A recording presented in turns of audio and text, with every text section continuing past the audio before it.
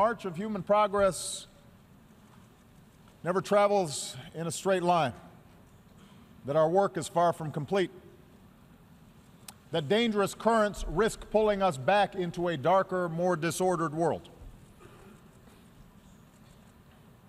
Today we see the collapse of strong men and fragile states breeding conflict and driving innocent men, women, and children across borders on an epic scale.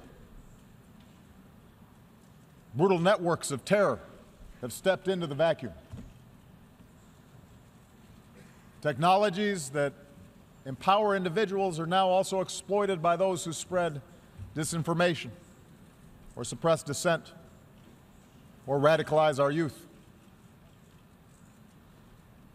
Global capital flows have powered growth and investment, but also increased risk of contagion, weakened the bargaining power of workers, and accelerated inequality.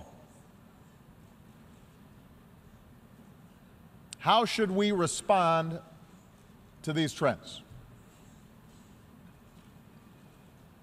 There are those who argue that the ideals enshrined in the UN Charter are unachievable or out of date, a legacy of a post war era not suited to our own. Effectively, they argue for a return to the rules that applied for most of human history and that predate this institution. The belief that power is a zero sum game, that might makes right, that strong states must impose their will on weaker ones, that the rights of individuals don't matter, and that in a time of rapid change, order must be imposed by force.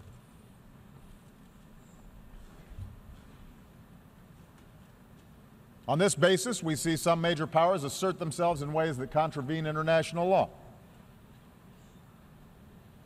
We see an erosion of the democratic principles and human rights that are fundamental to this institution's mission.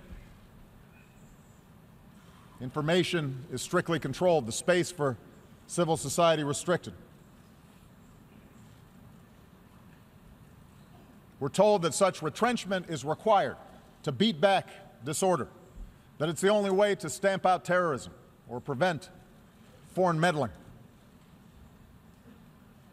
In accordance with this logic, we should support tyrants like Bashar al Assad, who drops barrel bombs to massacre innocent children, because the alternative is surely worse.